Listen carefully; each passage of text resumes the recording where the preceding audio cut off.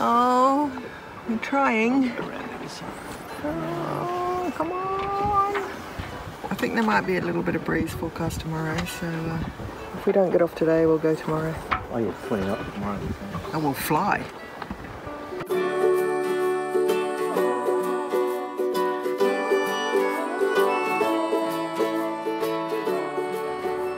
That little Doctor's Use Island there is called Portobello.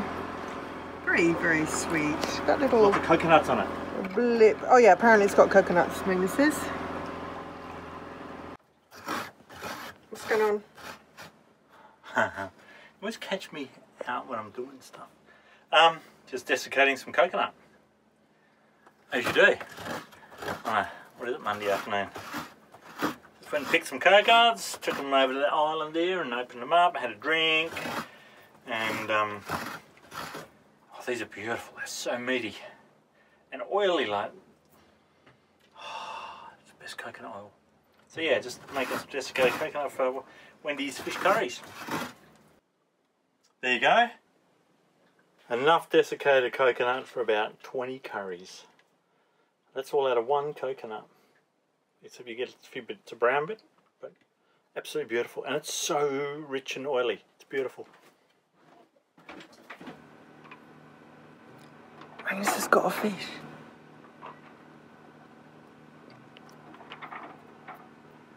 It's being very quiet. What'd you catch? Ah, just some bait. It's a good start. This morning we're going on a walk to the top of that hill up there in the clouds. And uh, first sign you see is watch out for aeroplanes. There we go.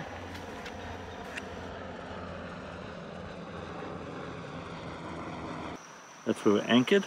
Been here a few days. It's absolutely beautiful. Uh, the runway's all clear. No aeroplanes coming we're safe. Beautiful spot here. A few boats arrived yesterday. The two of us were most yesterday and then another few arrived and a few left have left this morning. You can see one out there on the horizon that's left this morning. There's no wind, so we're hanging around because we haven't got any engine. And there's a 180. The old resort is behind these trees here. So the resort closed after Yasi ripped through it in 2011 and it hasn't come back to life. This property's been done up. We think this is probably the caretaker's house. What have you got there, babe? One of your favourite shells? Yeah, isn't it beautiful? Yeah. A big wasp just landed on your hand. Yeah, a very large one. Look. Oh, thank goodness.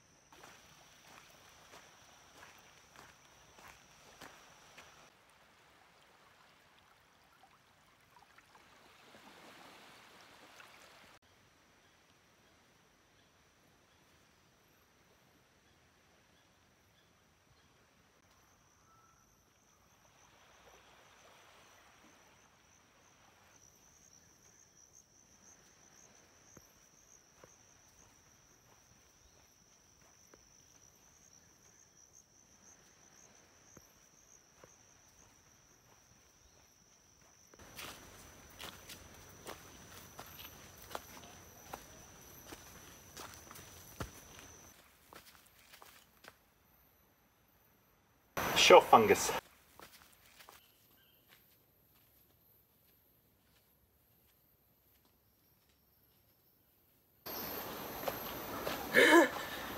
How's it going, Wen? Good. It's pretty steep, isn't it? Yeah. It's beautiful. It's a long way down. Very steep. This track is absolutely beautiful. Birds everywhere, little lizards. Sensational. A Little switchback. getting steeper. Yeah. It is getting steeper. They, they're putting switchbacks in now. Yeah. Awesome motorbike track. You'd ride down here, uh, down to the next section of track. I could take my uh, mountain bike down here, no problem, downhill. Yeah, you'd be down here easy. Yeah. And just a heads up thing you got to watch out for here are leeches. Oh, If you brush against a leaf or something, a leech can jump on. As per usual, I got my best hiking boots on.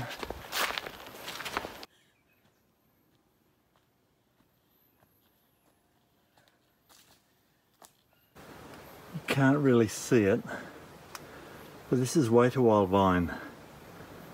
It's got some really, really sharp hooks on it that grab you as you're walking along. you can use these hooks for fishing.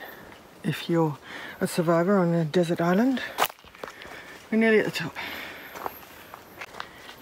Back when men were men and sheep were scared, they carried a radar installation up here. Bit of flat up there, I reckon that's where it would have been, or maybe here. Like this is cast iron stuff. Um, and it was for the war because the Japanese were coming down. They were coming down through the Southwest Pacific. And of course, this is the first place they'd get to after the Cape. So they had radar installations all the way down the coast here, and they built the airstrip here in um, 1941. Um, and then soon after that, when that air, that airstrip appeared on Japanese maps in 1943, beginning in 1943, so they thought, wow, they know we're here. Let's put in a radar installation. So the men lived down, camped down in Brammo Bay where we are, and uh, two shifts a day. They'd walk all the way up here um, carrying diesel to run the two generators and bits and pieces, and then the headquarters up here where they could you know, spend their time during their shift. But they were men, like these days you just helicopter in a portable. No, it's all done from satellite, so you don't need any anything. But amazing, and but the view they had. So there's a good trade-off, I suppose. Now look at this. Check this out. Come here.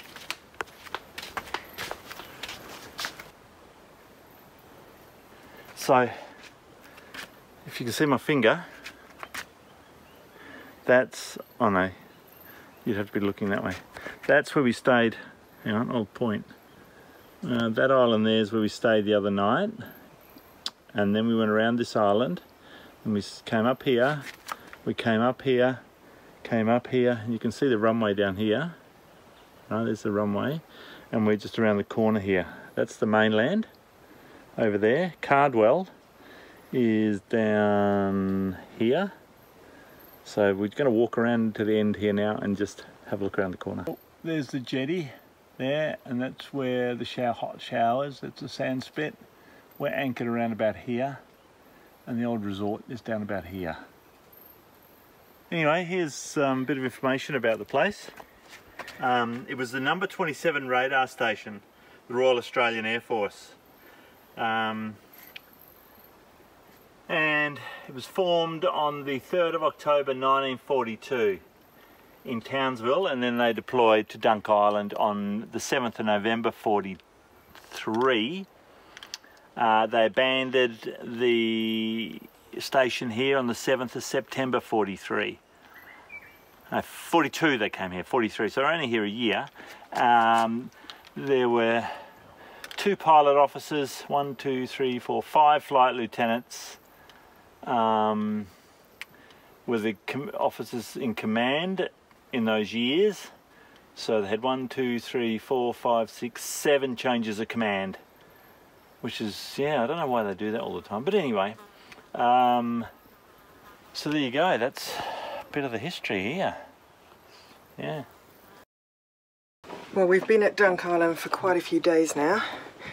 And Magnus jumped out of bed this morning and said, There's a bit of breeze, so let's try and go.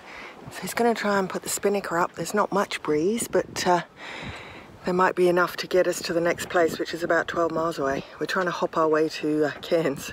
Let's see how he gets on. Nice going up. I've forgotten how beautiful she was. Oh, I'm trying. Around maybe some.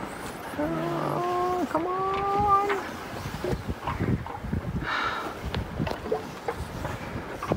What's the destination today? About 12 miles. Yeah. That's all we've got to do. Hop our way to Cairns.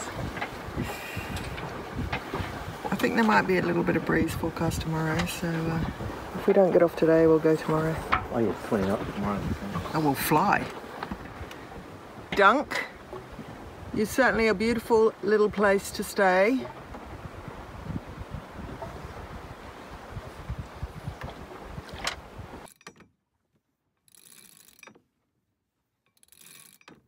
Well, she's up. Yeah, she's flying. How'd that go, babe? Tricky. Good. Yeah, tricky because there's not enough wind to get her around the forestay. It's up now. She's up and we're not going to hit the island, so we're good.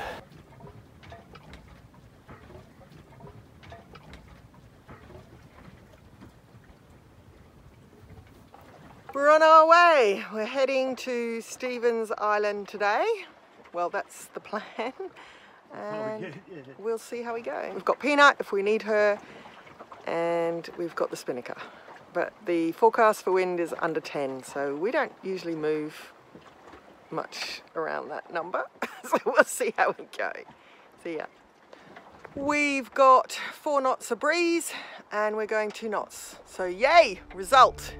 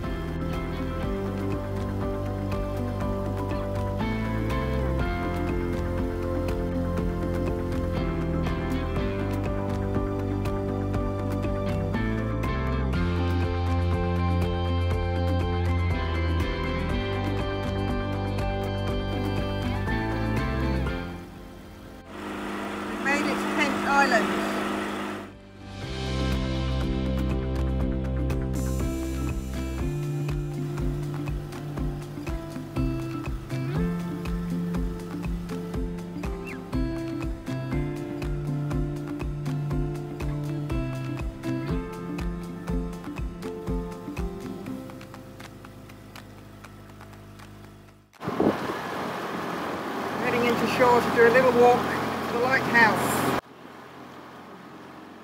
It's only about half a kilometre. Good. We're going to check it out.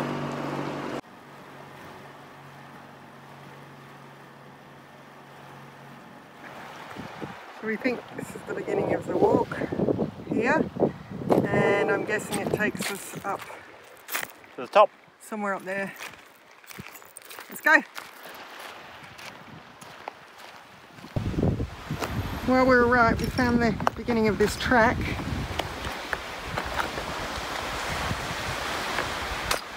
Lots of coral.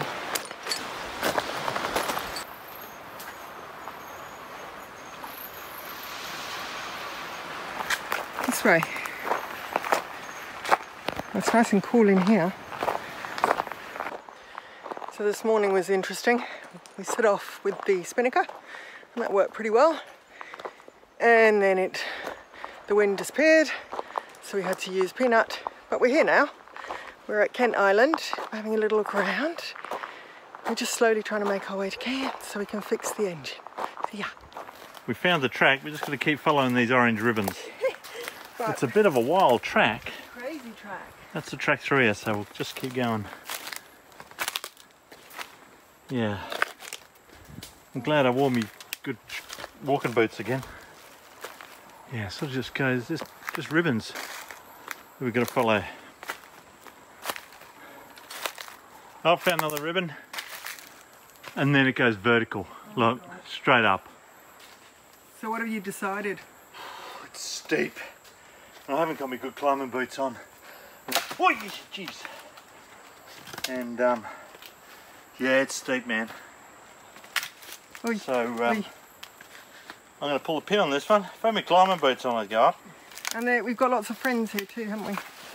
Mozzies, yeah, there's millions of mosquitoes. Yeah. Anyway. Look at it, it's crazy. It's crazy It's like steep. vertical up there. It is it's hands and knees stuff.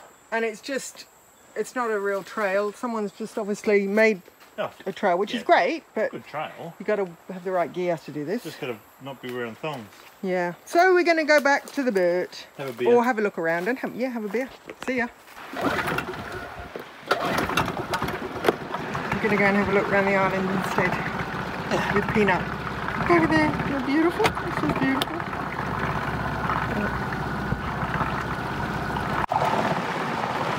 That's where the wolf was. We thought it was somewhere else, but it wasn't. So, uh,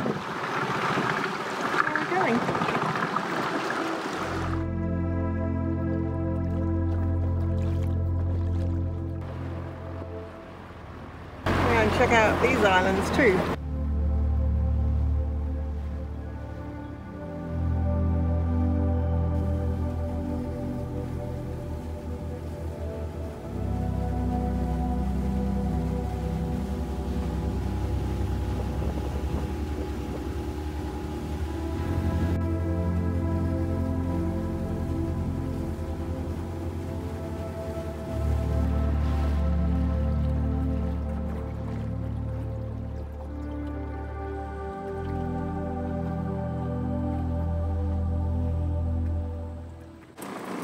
Little island is just a vertical beach of coral